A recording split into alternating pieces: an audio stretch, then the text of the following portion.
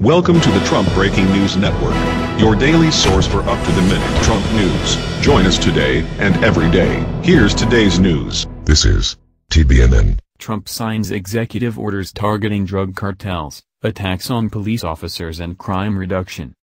President Donald Trump has signed three new executive orders aimed at targeting drug cartels, creating a task force to reduce crime and stopping crimes against law enforcement officers.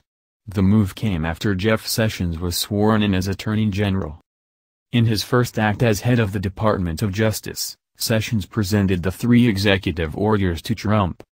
I'm signing three executive actions today designed to restore safety in America, Trump said. Very important. All very important.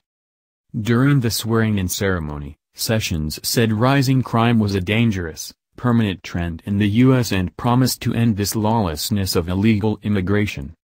The White House did not provide copies of the executive orders, nor was there any explanation given regarding what they would do.